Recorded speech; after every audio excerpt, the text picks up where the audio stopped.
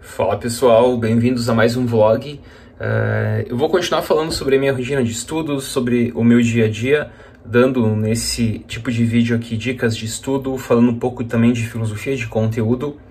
Agora eu estou trabalhando num resumo da história da filosofia que tenha 20 páginas no máximo para dar para uma turma que eu estou trabalhando sobre a história da filosofia e está sendo bem difícil porque de resumir toda a história do pensamento filosófico em apenas 20 páginas não é nada simples.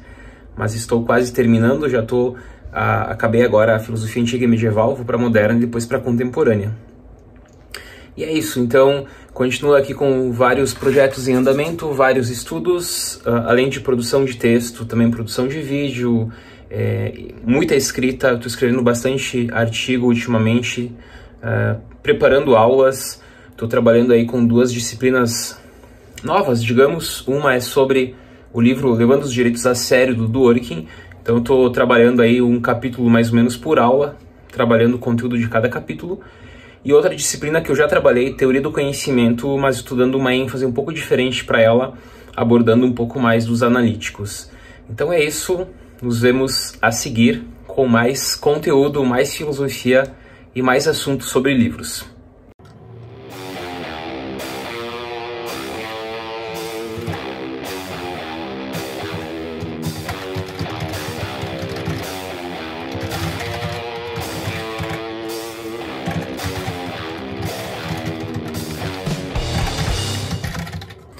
Então, pessoal, um pequeno comentário. Eu tava pensando agora que a vida de quem se dedica integralmente aos estudos, quem se dedica integralmente a uma vida intelectual, é uma vida bem solitária. É, e quanto mais tempo nós passamos sozinhos, mais tempo nós teremos para estudar. Então, alguém que almeja isso, alguém que está agora na adolescência, alguém que está assistindo esse vídeo e pretende se dedicar a uma vida intelectual, seja na filosofia, seja em outra área qualquer, uh, já destaco aqui que tu, tu tem que saber que esse tipo de vida aqui é uma vida totalmente solitária. Eu passo boa parte dos meus dias sozinho, estudando. Então eu passo basicamente por cima, tirando a parte do sono, obviamente, né? Mas eu passo basicamente 80% do dia uh, tirando as oito horas que eu durmo, uh, sozinho, estudando. E só mesmo nos finais de semana ou só mesmo em momentos, por exemplo, almoço, alguma coisa assim, é que nós teremos um contato com as outras pessoas, com a nossa família, com o namorado, com a namorada, enfim, com, a, com as pessoas que nós convivemos. Então, gente, uh, vale muito a pena quem pretende, e aqui eu tô falando diretamente pro pessoal aí que tá pensando o que fazer da vida, vale muito a pena, é uma vida assim que de fato é gratificante, porém uh, já, de, já adianta aqui que a tua vida com certeza será uma vida solitária.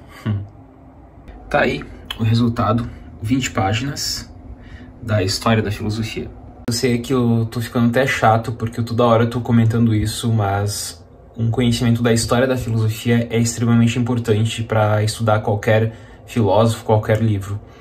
É, eu, eu jogo assim que há dois uh, pilares básicos para todo estudante que ele tem que dominar. Um é a história da filosofia e o outro são os temas filosóficos. Então, ter um bom domínio da história da filosofia é fundamental uh, mas também ter um bom domínio de, dos temas, uh, daquilo que está sendo debatido nos temas. Por exemplo, ter um bom domínio sobre ética, sobre epistemologia, sobre lógica, sobre filosofia da mente. Óbvio que isso demora muito tempo para consolidar, para conseguir uh, chegar uh, num bom domínio sobre todas essas áreas.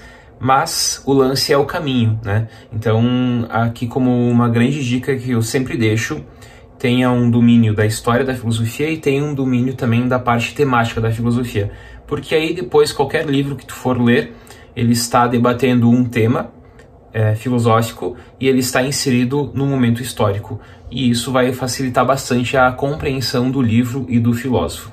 Fala pessoal, hoje é sábado e isso não significa que no final de semana a gente não possa também fazer aquilo que normalmente a gente faz durante a semana, Uh, hoje eu vou conseguir então ler um pouquinho, tenho aí umas 3, 4 horas uh, pela frente, uh, onde não tenho nada para fazer. então eu vou fazer a leitura de três obras aqui, trechos, obviamente. Essa, As Prisões da Miséria. Essa obra aqui do Mohan, Ciência com Consciência.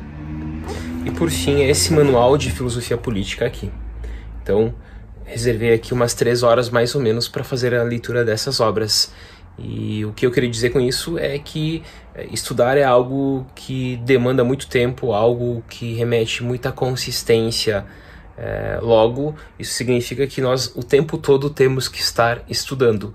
Não é algo que a gente faz aí num dia, em dois dias, mas é algo para a vida toda, em todos os momentos, em todos os dias. Bom, eu quero aproveitar esse momento para passar algumas dicas para vocês, uh, algumas dicas que funcionam comigo sobre leitura. Então eu vou de deixar aqui sete dicas para vocês. A primeira dica é descubra o tipo de leitura que você gosta, porque é assim que nós entramos no mundo da literatura, da leitura. Uh, ninguém nasce uh, gostando de ler, nós nos tornamos leitores. Então, é filosofia, é literatura, é história, é sociologia? Como segunda dica, leia livros é, diferentes ao mesmo tempo. Leia livros de história, de filosofia, leia livros de ciências naturais, leia livro de astronomia, enfim, é, leia sempre vários tipos diferentes de livros e de literatura. Como terceira dica, ande sempre com livros, porque isso facilita a tua vida enquanto leitor. E leia onde você está. Se você está no ônibus, aproveite para ler. Se você está numa fila, aproveite para ler. Como quarta dica, descubra qual o seu período favorito para ler. Ao acordar, ao dormir, de tarde. Como quinta dica, fuja das distrações.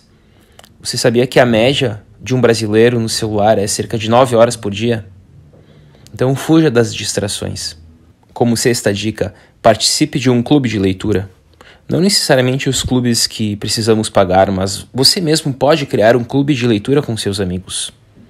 E como sétima e última dica, é algo que eu faço semanalmente, que é o seguinte: eu escolho sempre um livro por semana, pego o número de páginas do livro, divido por sete e aí eu tenho a minha meta diária para ler. Eu tenho semanas que eu tenho muito compromisso e aí eu pego um livro curto. Há outras semanas que eu sei que eu posso ler duas horas, duas horas e meia. Aí eu pego um livro mais longo. E além disso, eu também sempre tenho, além dessa leitura rápida, uma leitura mais demorada, que é a leitura para as aulas, que é a leitura para minha pesquisa.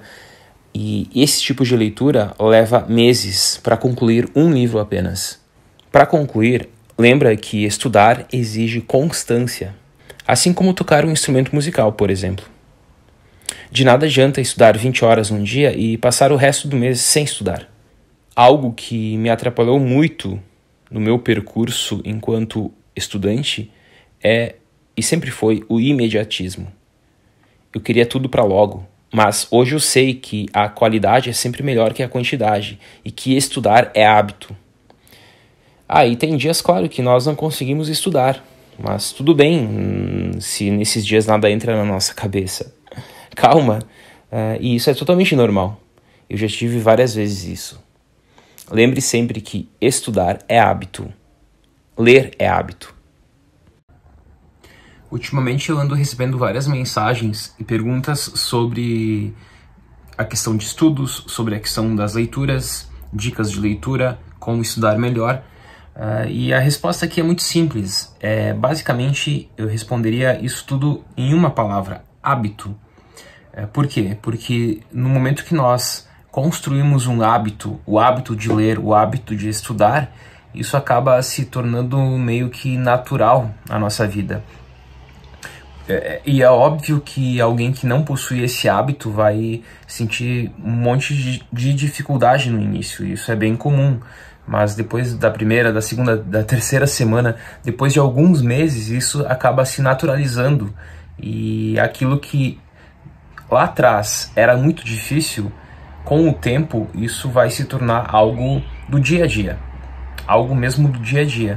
Então, para quem pretende estudar mais, para quem pretende ler mais, uh, e aqui a minha humilde opinião, porque eu também uh, tenho dificuldades, porque eu também muitas vezes não tenho vontade de estudar, uh, mas isso é raro, é quase sempre eu tenho. Uh, então construa o hábito de estudar, construa o hábito de ler.